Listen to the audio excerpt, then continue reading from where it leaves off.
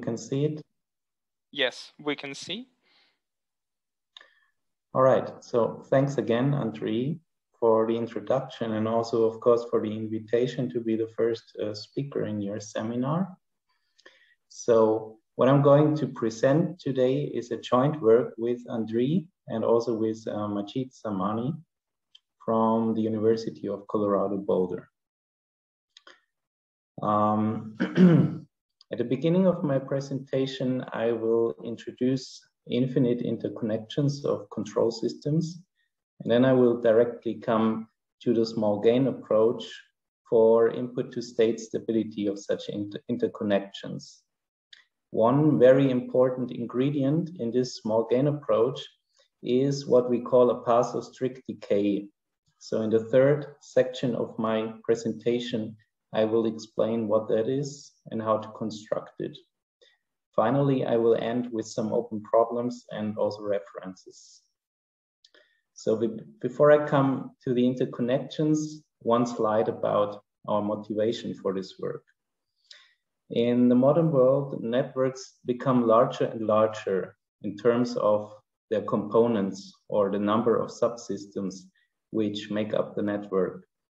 And the classical tools which are used for the stability analysis of such networks do usually not scale well with the size of the network. One idea how to overcome this problem is to over approximate a large but finite network with an infinite network, and then develop the stability analysis for this over approximation. And in the best case, this should lead to results which are then independent of the scale or the size of the network. So let me show you first the technical setup that we use to study interconnections of infinitely many control systems.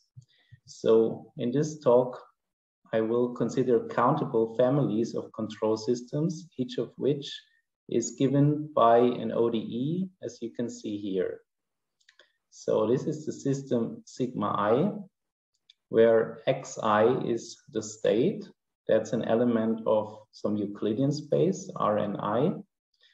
Then we also have some xi bar in the right-hand side. This is considered as an internal input. And formally, xi bar is a vector composed of the states of other subsystems. More precisely, we consider a finite set of indices, capital I index small i, which should not contain i. And xi bar is just uh, the vector composed of the xj's with j running through this index set. We also have an external input ui, which is usually considered as a control, but can also be considered as a disturbance. Finally, we have the right-hand side, this function fi, which should at least be continuous. And of course, we need to talk about solutions. So what we do is we just assume that um, for every initial state xi0 and for all essentially bounded functions xi bar and ui bar, so these are time-dependent functions that we can put here on the right-hand side. There exists a unique solution which we denote in this way. We will only be interested in the solution for non-negative times. And we don't assume forward completeness. So these solutions might only be defined on bounded time intervals, at least at this point um, of our setup. So one should be aware here that, well, I called the xi bar internal input and the ui external input, but the xi bar here, just when we talk about solution, it can be any essentially bounded function. Later, when we introduce the interconnection of all of these systems, xi bar will be um, well, a vector composed of the states of other subsystems, but not at this point. Now there's a final very important point of the modeling. So what we also need is a norm on each of these spaces. So we equip each of the state spaces Rni and also each of the input spaces Rmi with a norm that can in general depend on the index i. Nevertheless, we will um, not highlight this dependence in our notation. So we just use this notation without any index for each of the norms. But since we will be talking about stability, in particular input state stability, which is a notion depending on the choice of the norm, well, the way we choose these norms will change the meaning of the statements of our results. So you should keep in mind that this is an important part of our model. Now we can introduce the interconnections of these systems sigma i. So for that, we need to introduce first a state space. This will be uh, some L infinity type space, more precisely the space of all sequences xi, where xi is an Rni, and the supremum over the norms of the xi's is finite. And this supremum is also, of course, the norm that we put on this space. And with this norm, it's a Banach space. Then we have a space of external input values, which we model in exactly the same way. Just using the norms on those spaces Rmi. We also need to talk about input functions, time-dependent input functions. Um, so here we use also bounded functions from R plus into our space of external input values but only those which are piecewise right continuous. Well, we could also consider measurable con control inputs or external inputs, but this would lead to a different analysis and somewhat different um, statements. So here in this talk, I will concentrate on piecewise right continuous functions. And finally, we need a right-hand side for this infinite interconnection. So this is just a map f on x times u, and it's composed of all the right-hand sides of the sigma i's, just like that. Then we can formally write the interconnection as an ODE, like that, with a state x, which lives in this Banach space capital X. Well, of course, to handle such an ODE, we need to talk about solutions we need to introduce the concept of solutions. and this will be the following. For a pair ux0 of an input function and an, an initial state, we call a function lambda on an interval of that form with values in x a solution of the Cauchy problem that you can see here. If that function is locally Bochner integrable with values in x and satisfies the integral equation associate, associated to our differential equation. So we don't really talk about derivatives. We just talk about integrals. And so this works fine. So there is a, a well-established theory handling such solutions. Now we need also need to introduce some properties we say that our system sigma is well posed if for every pair ux0 a unique maximal solution exists and we denote it in that way. so also, sorry, also this solution may only be defined on a bounded time interval. But if actually all of these maximal solutions exist on the whole um, non-negative half line. So if this maximal existence time is infinite for all pairs, then we call the system forward complete. If it's also well posed, of course. Finally, we need to introduce a property which is called the boundedness implies continuation, or for short, BIC property, which is satisfied if the system is well posed and all of its bounded maximal solutions are defined on R plus. So essentially this means that whenever you have a bounded solution and it's only defined well, you only know that it exists on a bounded time interval, then you can extend it to a larger time interval. And eventually, as long as it stays bounded, you can extend it to the whole R plus. So, all right. Then uh, another important thing is, of course, the relation between the solutions of uh, the system sigma and the solutions of the subsystems sigma i, which are now considered as subsystems of this interconnected system sigma. And that's very simple. If you take a solution of the system sigma and you consider the projection to the ith component, then you obtain the corresponding solution of the subsystem sigma, just like that. Now, to talk about stability properties, as usual, we need to introduce some classes of comparison, fu comparison functions. So we have first a class P, so of positive definite functions. These are continuous functions which are zero at zero and positive at all other points. then we have the well-known K functions. So which are those positive definite functions which are strictly increasing.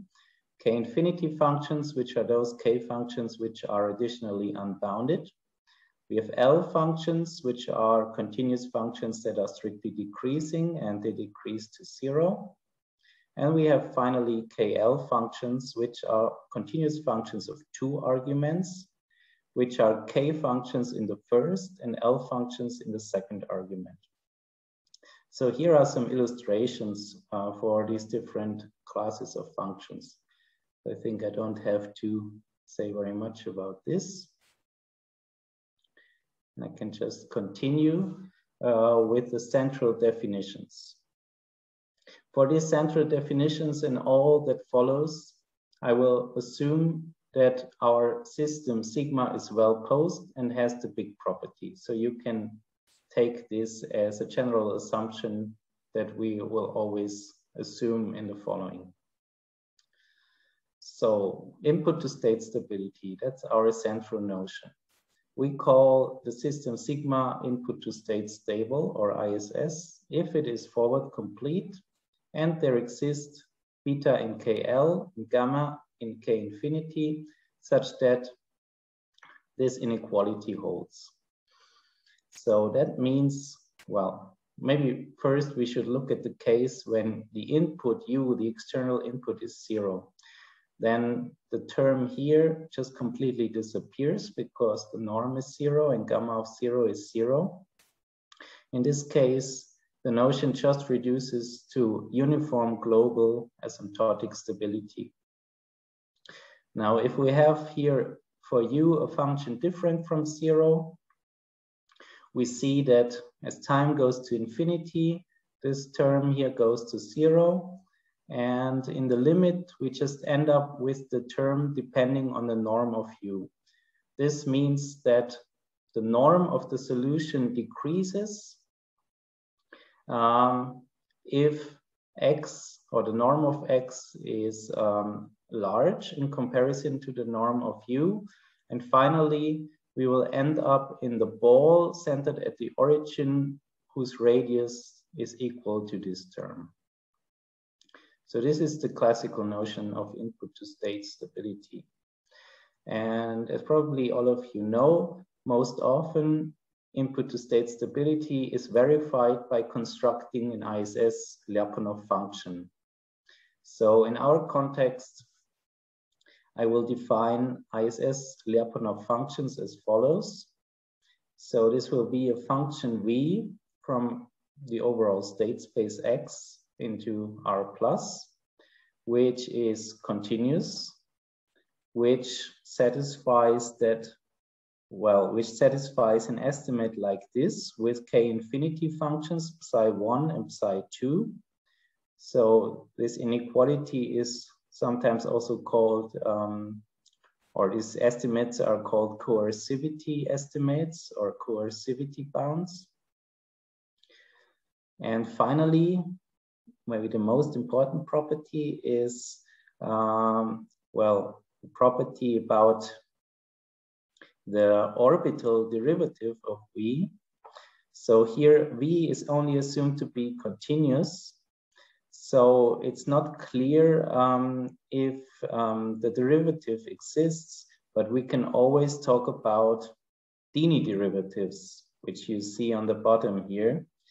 So um, we define uh, this Dini derivative of uh, V with respect to a control input U and a state X, just like that. So it's the lim sup for T going to zero from the right of this quantity. And the property here says that if V of X is larger than gamma of the norm of U, then this orbital Dini derivative should be not larger than minus alpha of V of X.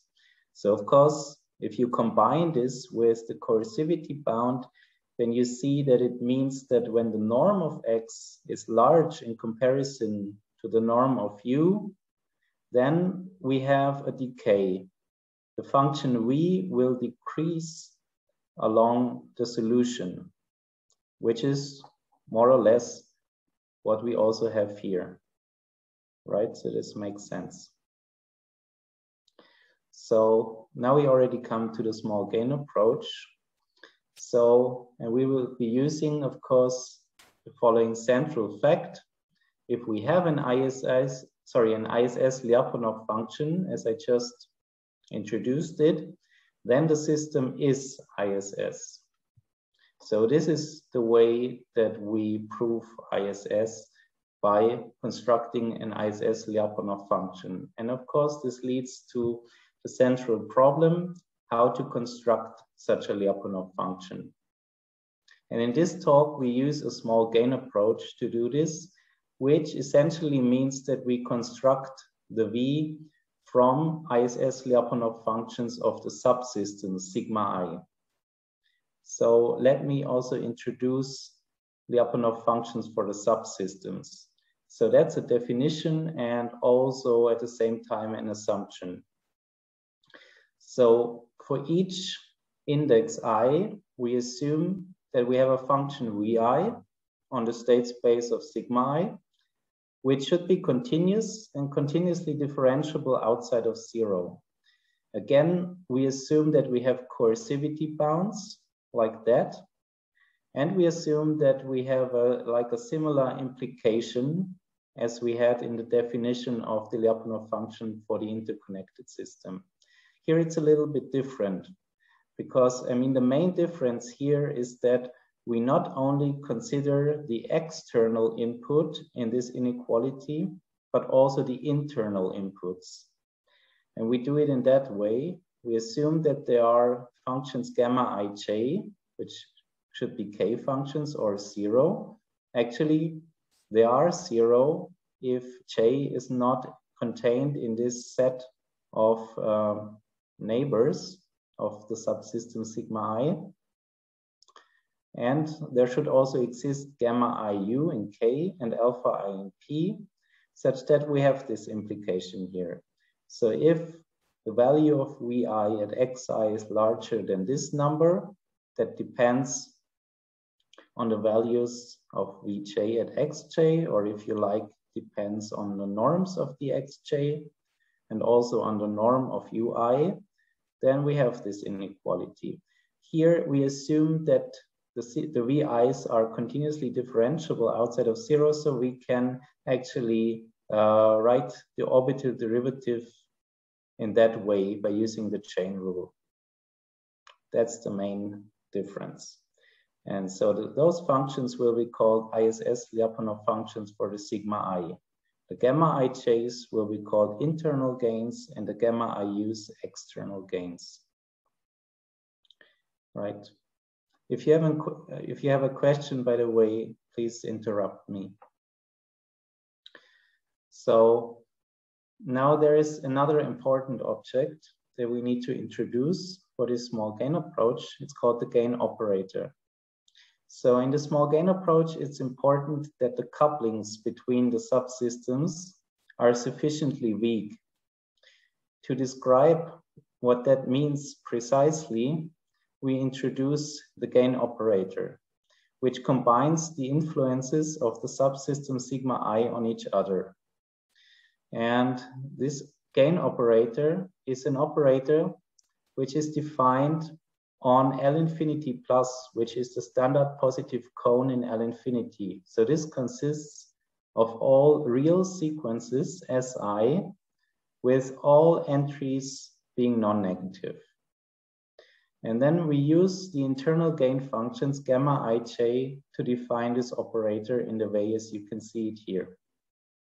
Of course, we could take the supremum here also only over j in i index i, because the gamma ij's by definition are zero if j is not in this set. But we can also write it in that way. Now, in general, this operator doesn't have to be well defined, but we can prove that if the family of all the internal gains, so that's family of functions, if that is pointwise equicontinuous, then the operator is well defined and also continuous. Moreover, this operator maps zero to zero, which is quite obvious, and it's a monotone operator with respect to the order which is induced by the positive cone. So that means if we have that inequality, then we have the same inequality for the image of S1 and S2 under gamma. And as I said, that's the order induced by the cone. So S1 less than or equal to S2 just means that the same inequality holds component-wise, right? So this is also easy to see. Now there is one important ingredient that we need to construct the, the ISS Lyapunov function V from the VIs. And this is what we call a path of strict decay for the gain operator gamma. And basically the existence of such a path of strict decay will be our small gain condition. Now let me give the definition of a path of strict decay. That's a function sigma from R plus into this positive cone, which has a couple of properties. The first in properties, sorry, the first property is the most important, I would say. It says that if we evaluate our gain operator on the image of this mapping sigma, then we see that we, we get, we have a decay. So we get a vector which is smaller in terms of the order defined on the defined via the positive cone. So we have sigma of sigma r is less than or equal to something like this. So what is this? The rho is a k infinity function, and we take here identity plus rho inverse. So I have to explain what that means. How can I compose such a function which is real valued with sigma, which has values in, in, in this cone? So that means that we apply this nonlinear function component-wise to sigma of r. And since identity plus rho will be something which lies above the identity, if we take its inverse, it will be below the identity. So this really means that we have a strict decay. All right. Then we have some other properties that need to be satisfied. In particular, each component function, sigma i of sigma, should be a k infinity function. Then we need uniform bounds on these components, sigma min and sigma max, which are also k infinity functions. And finally, we need a uniform local Lipschitz condition for this for the inverses of the sigma i's. For every compact interval k in the open interval zero infinity, we want to have like these Lipschitz estimates from above and from below with constants small c and capital C, which can depend on that set k. So this thing we call a path of strict decay. And now finally, I can uh, show you how we obtain the Lyapunov function for the overall system sigma. So we assume that we have those Lyapunov functions vi for the sigma i and additionally a path of strict decay. Then we define v of x in the way that you can see here. So we take the supremum over sigma i inverse of vi of xi. So this will be our Lyapunov function. And here you see uh, some additional assumptions which really guarantee that it is a Lyapunov function. First, we need that the functions c psi i1 and i2 that come from the definition of Lyapunov function for the subsystem, those coercivity estimates, that they are uniformly bounded over i, just like that. Then, of course, we need, as I said before, pointwise equicontinuity of the family of internal gains. And we also need an upper bound on the external gains in terms of another k function that we call gamma umats. Um, third assumption here is that we have um, a uniform Lipschitz condition on the Lyapunov functions of the subsystem. So these are only local Lipschitz conditions. For each R, we want to have a Lipschitz constant L of R such that this holds whenever the norms of xi and yi are at most r. So within a ball of radius r centered at the origin, we want to have like a uniform Lipschitz estimate. Finally, we need the existence of some alpha tilde in P, which is a lower bound on all the alpha i's. So the alpha i's also come from the definition of the Lyapunov functions of the subsystems. And so the theorem says that under these assumptions, the V as I define it here is really an ISS Lyapunov function for sigma. So implying that sigma is ISS, of course. And moreover, this function can be shown to be locally Lipschitz outside of zero. So that's our main result. Now let me say a few words about its proof. So what do we do? We take some x in the state space, which should not be zero. And we first consider all indices i such that this function, or this, I should say this number, is close to v of x. More precisely, we introduce this set i of x. So this being close to that can be expressed in the following way. We apply identity plus rho, which the rho comes from the definition of path of strict decay. We apply this function to vi of xi, which will make this value a little bit larger, depending on what rho is. So, and then we apply sigma i to the minus one, and we want this to be strictly larger than v of x. So that means that without the rho here, we should already be close to v of x. And since v of x is defined as the supremum over these quantities, it should be true that v of x then is the supremum of these quantities if we only take indices from the set i of x. And in fact, this can be proven. So this is true. Now, to verify that v is an ISS Lyapunov function, we need in particular a k function gamma that we use to compare v of x with the norm of u. So we define gamma as a composition in that way. The sigma min comes from the definition of of strict decay. And this thing here was our upper bound on the external gains. Now we assume that this inequality holds for some external input u. Then for every index i in the set i of x, we get two estimates. First estimate is this one, we i of xi can first be lower bounded by this here, which just comes from the definition of i of x. And then in the second inequality here, we use the property of of strict decay. So this is just the decay condition that we use here. So we get this inequality where gamma i means that we look at um, the ith component of gamma.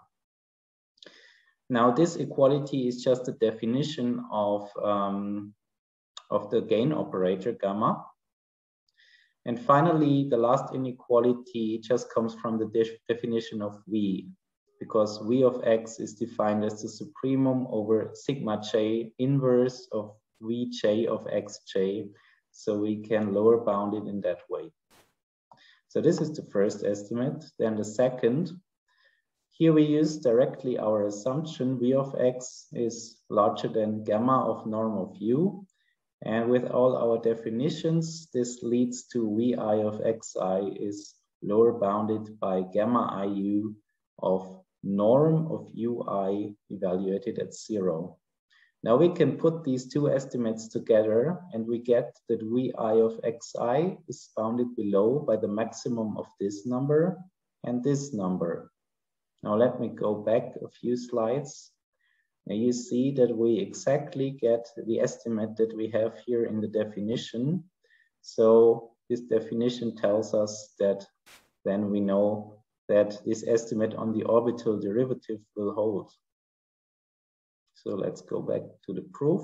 So we know that this estimate will hold and we assume that the alpha i's are lower bounded by some alpha tilde. So we also have this estimate.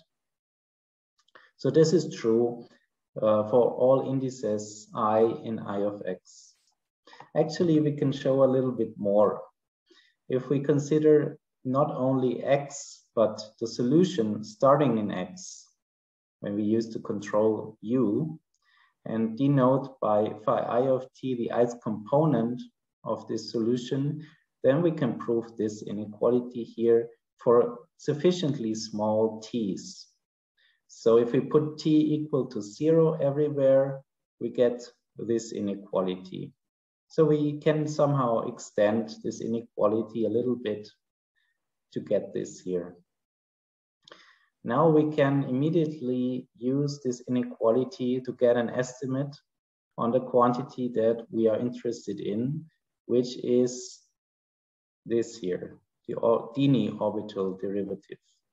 So actually also without the lim sup, well, we can, we can estimate this guy here like that. And then we can further estimate this difference here by using the inequality above. Well, what we also need is we, we need to get rid of the sigma i to the minus one, which we can do by using this local uniform Lipschitz condition that we had in the definition of a path of strict decay. So in that way, we can get rid of the sigma i to the minus one, we just get some Lipschitz constant, and the rest we can estimate by using the inequality above. All right, and in that way, we, we prove our theorem. So, good. Now, of course, um, well, the most critical assumption in our theorem was the existence of a path of strict decay. This seems to be a quite complicated object, and it's not clear if uh, that exists or how it can be constructed. Now, let me say some things about the construction of path of strict decay. And you will see uh, there are actually really uh, some, I would say, uh, severe problems related to that. And not all of these problems are already solved. So maybe you know that for finite networks, in the case of finite networks, one usually considers a small gain condition which looks like this. So in terms of the gain operator, which is also called the no joint increase condition. This just means that the vector gamma of s should have at least one component, gamma i of s, which is strictly less than the component si. So in one component, we should always have um, a strict decay. This condition in the case of finite networks already guarantees the existence of a path of strict decay. But in the infinite dimensional case as we have here, it turns out to be much too weak, unfortunately. So somehow we try to replace it by some stronger condition. And here is a definition which turns out to be useful. So this is something stronger than this um, small gain condition. We call it the robust small gain condition. And this says that there exists, there should exist a k infinity function omega such that for all indices i and j, the operator that you see here, which is also a monotone operator on the positive cone, satisfies this no joint increase condition. So what is this operator? Here we have EI, which I did not define, but it's just the ith unit vector in L infinity. So that's just the vector which has a one at the ith position and zeros at all others. So this operator gamma ij uh, is defined as the sum of the operator gamma and well, something which is only non-zero in the ith component and it's multiplied here with omega of Sj. So it somehow involves the ith component and the j's component. So for every pair ij, this operator should satisfy the no joint increase condition. And it turns out that this is a nice property. We can prove some things if we assume that it holds. In particular, we can prove the proposition that you see here. If gamma satisfies the condition, then we can define another operator that we call Q. And this is defined as the supremum over all the iterates gamma k of s over all uh, non-negative k's. So when I say supremum, I have to explain what it means because these are vectors. I take the supremum, supremum component wise. That's the, that's the meaning of the supremum. So this operator turns out to be well defined, which means that it takes values again in the positive cone and it satisfies some nice properties. First property, Q of S is always bounded above and below, below by S, because S appears here, of course, if we take K equal to zero, so that's clear. But it's bounded above also by the inverse of omega applied to the norm of S, the L infinity norm, multiplied with the vector which consists of only ones. So that just means in each component, Q of S is upper bounded by omega inverse of the norm of S. So second property, that's the more important one, which already leads to something like strict decay. The property says that if we evaluate gamma at any uh, point Q of S, so any point in the image of Q, then we have maybe not strict decay, but we have a decay. So gamma of Q of S is less than or equal to Q of S for all S. Okay. Now we need uh, one additional thing to actually make use of the operator Q to construct the path of strict decay. One thing that is missing is we need to analyze the stability properties of the system which is induced by the gain operator. So that's a discrete time system on the positive cone, just like that. And we can prove some things about this system if we assume that gamma is a well-defined continuous and satisfies the robust small gain condition.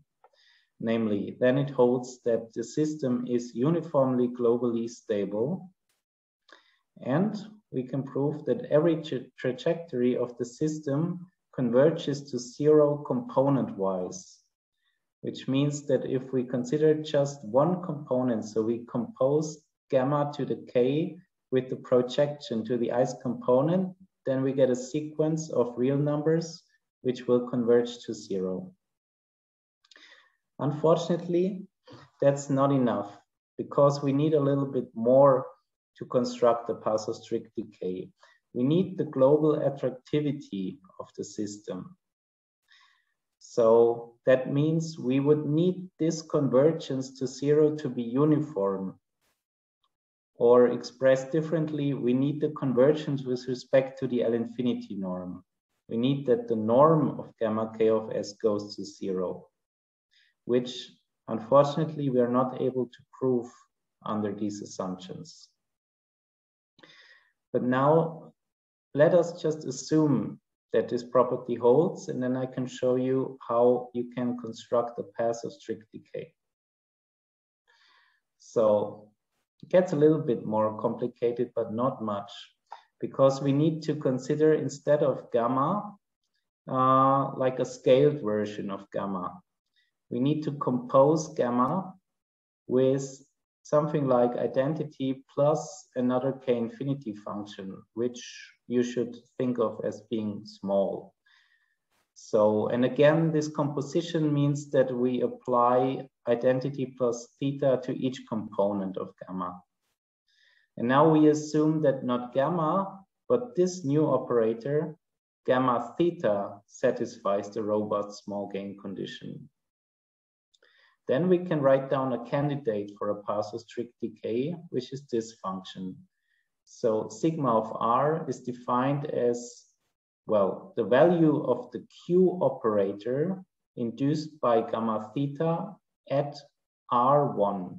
So that's the vector which consists, well, which has all entries being equal to R. And here is again the definition of the Q operator associated with gamma theta. Now we can use our proposition, which tells us that we have this inequality. But gamma theta is nothing but identity plus theta composed with gamma. So we can take identity plus theta to the other side of the inequality and we get that gamma evaluated at sigma of r will be less than or equal to this. And this is exactly what we need this is exactly the first property of a path of strict decay. So that's nice. But what about the other properties?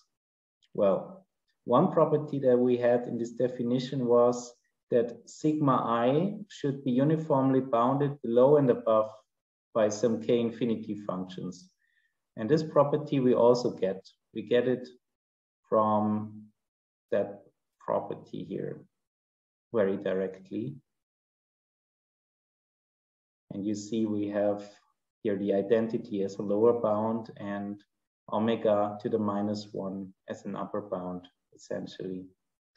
In particular, this implies that sigma i is zero at zero, it's positive elsewhere, and it goes to infinity as r goes to infinity. But we need to, of course, we need to know more. We need to prove that sigma i is a k infinity function. This can be done by exploiting the global attractivity, which we will assume now for the system which is induced by gamma theta. So we assume that this system is globally attractive. So every trajectory goes to zero in norm. That implies that the q theta actually can be written as instead of a supremum over all k can be written as a maximum over only finitely many k. Well, not everywhere, but at least on sufficiently small sets or balls, it can be written in that way because gamma theta k of s will go to zero. So after a certain index k zero, it will be so small that it does not contribute anymore to this supremum. So now as we can write it as a maximum over finitely many numbers, we immediately get the continuity because we have a maximum of finitely many continuous functions. So we get the continuity, continuity of q theta, which directly implies the continuity of sigma i. Now to prove that sigma i is k infinity function, there's only one thing missing, which is that sigma i is, should be strictly increasing. But like using the same idea as here, we can actually write sigma i also as a maximum of finitely many strictly increasing functions, at least locally. here we also need, or here we also use that every subsystem only has finitely many neighbors together with this property. And this eventually tells us that sigma i is a k-infinity function. Now, there's only one thing missing from the definition of a path of strict decay, which is the Lipschitz property. For the Lipschitz property, well, we need to impose another assumption or condition, which is this one. We assume that for each compact interval k in zero infinity, we have uniform Lipschitz bounds for the gamma ij, so for the internal gains. Like we have these estimates from above and from below, at least for all the gamma ij's which are not equal to zero. We have these estimates. And we can show that if that holds, then we get the uniform local Lipschitz estimates for sigma i inverse. And this is enough then to show that the sigma is a path of strict decay. So let me summarize. We can construct the path of strict decay for gamma under the following three assumptions. This gamma theta for some small theta satisfies a robust small gain condition. The system induced by gamma theta is globally attractive and we have a uniform local Lipschitz condition for the internal gains gamma ij, as you can see here. So this is what we can prove. Now, of course, we have some open problems. Well, one of the main problems is to find checkable and sufficiently weak conditions which guarantee that a system like that induced by a gain operator is globally attractive. So far, we have some sufficient conditions, but they all seem to be too strong, which means they are probably only satisfied for a very narrow class of gain operators. Then the construction of the ISS Lyapunov function that I showed you is not very direct because it involves the inverses of those sigma i's, which are practically unknown because you don't really know uh, this operator Q that is used to define them. Well, we also don't know how to generalize, generalize the construction of a path strict decay, for instance, to gain operators which are not of this sup-type, because this is only, a, of course, a special case of gain operator or a special case of how to formulate uh, the ISS definition using a supremum over gains could also use a sum or something else. And finally, I would say that we don't really know enough good and interesting examples to which we can apply this theory. Right. Now I already come to my last slide where I show you some references. So, um, well, the theory, the theorem that I showed you, you can find in the first paper here, which is so far only on arXiv. Then uh, we also have another paper, the second one here with uh, Navid Noroozi as a co-author, which um, specializes this analysis to networks where all the, in, the internal gain functions are linear functions. In this paper, we also generalize the gain operators a little bit. So we not only consider sup-type operators, but yeah, some more general class of, of gain operators. Then some of the results that I told you, or let's say like some of the theoretical basis of this, you find in the third paper here, which is co-authored also by Jochen Glück. And so this paper considers not the Lyapunov approach to input to state stability, but the trajectory formulation. And then there are, well, this fourth paper here is a paper which is somewhat related to our work because it also considers infinite interconnections of nonlinear control systems and also considers a small gain approach to input to state stability.